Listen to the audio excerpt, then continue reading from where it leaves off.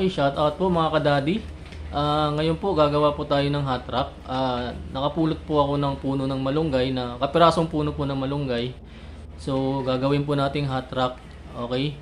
So gagamit po ako ng materials na chicken oil, ah joke lang, ah, pa bali ano, varnish.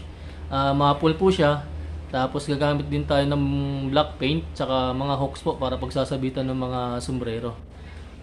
Shout out po muna sa kay Pilusin Kitchen, kay Farida Driver, and Salumi Trendel Channel. Okay po, ah umpisa na po natin yung ano, ah, paggawa ng hot rock po.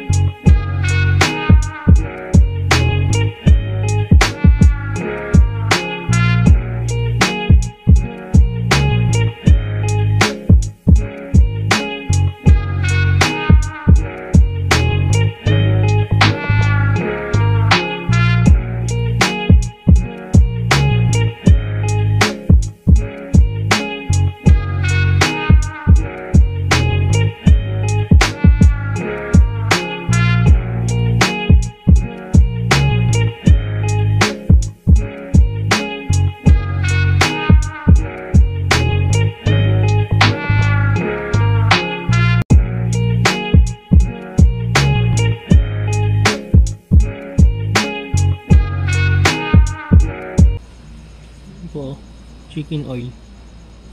Hindi, joke lang. Burns po yan. Okay, yan na po yung hot wrap. Ah, yung finished product po.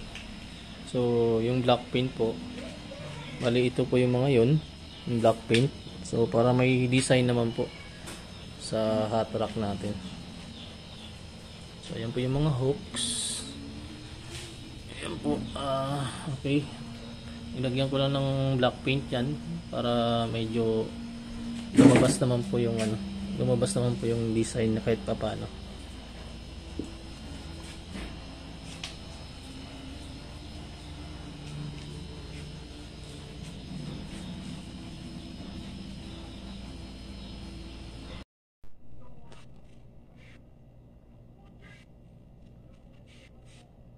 Okay, yun na po yung yan na po yung ano, ah yan na po yung hot track na nagawa natin.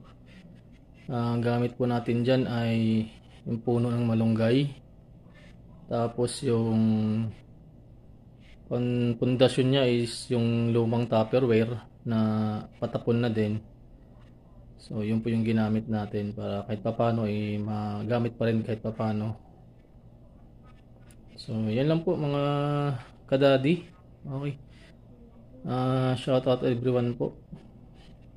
Ah, Mag-ingat po tayo lagi and God bless po. Please ah, subscribe. Then click nyo po yung notification bell para ma-notify po kayo pag mayroon po akong mga bagong video po na i-upload. So, salamat po. Kung gusto niyo rin magpa-member, ah mas okay po yan. Magpa-member na po kayo. Okay po. ah salamat po. Ingat.